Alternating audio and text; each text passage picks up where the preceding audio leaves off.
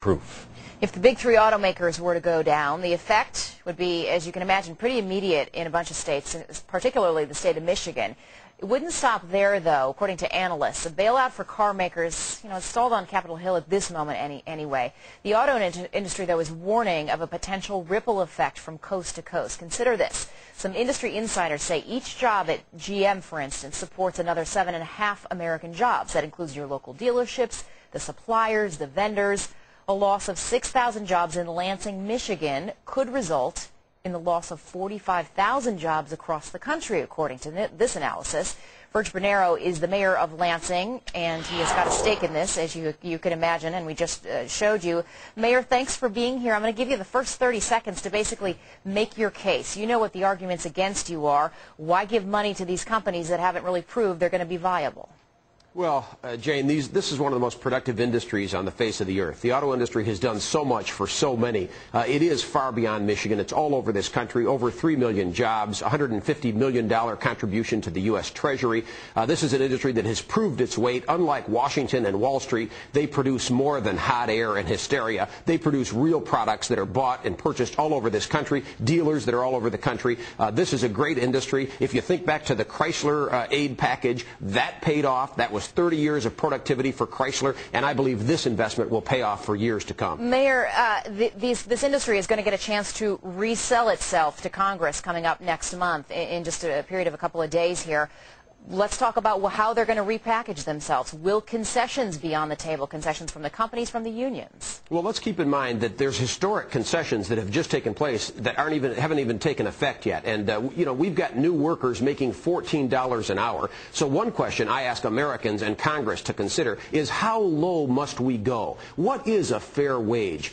Uh, how, how much do we have to cut in this country? I don't think that the auto industry has really very much to apologize for. They've, they've helped build the middle class in this country. They've done a phenomenal job. And uh, look at who's lecturing them. Wall Street and Washington. You know, there's a double standard going on here. Washington gives $150 billion to AIG with no strings attached. And what all we're asking for is 4% of the $700 billion that has been set aside for, for this uh, economic uh, aid package. But you know the question, where does it end then? You're asking for 4%. What about electronics companies? Circuit City went down. They're going to ask for part of a percentage, and other companies as well. None of these, none of these industries, Jane, with all due respect, none of them have the track record of the auto industry. The auto industry produces real, these are real people producing real things with a, with a multiplier effect, which you led with, about 7.5 jobs for every auto job. This industry stretches all across the country. And I'll tell you, the most sure prescription to go from recession to depression is to let this industry go by the wayside. And we've been talking about economic security. What about national security? It can't be forgotten. This isn't just ancient history.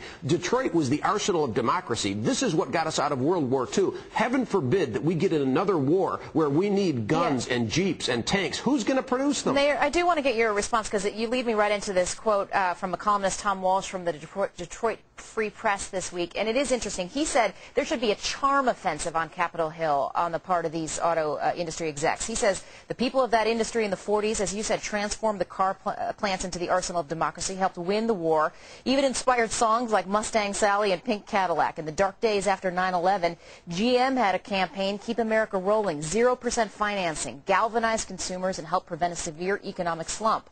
If you want this lifeline, you throw yourself at the mercy of your American family members and hope for a big hug. Would you advise that to the CEOs? Would it work?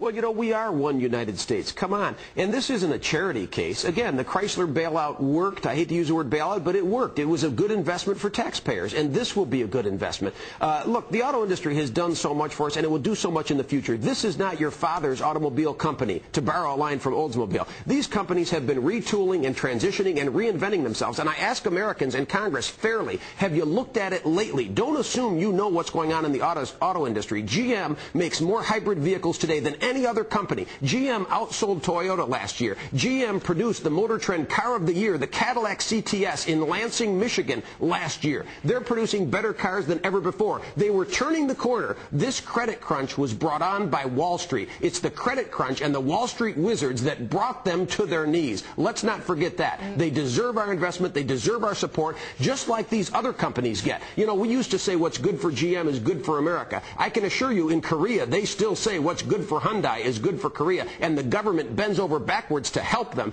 instead of pulling the rug out from underneath them and kicking them in the shins like we tend to do to our domestic auto industry. Mayor, I don't know if you used to sell cars, but uh, you must have been good at it. Uh, that is the view from Lansing, Michigan, an impassioned plea uh, from the mayor there, Vern Bernero. Uh, mayor, thanks for your time. Thank you.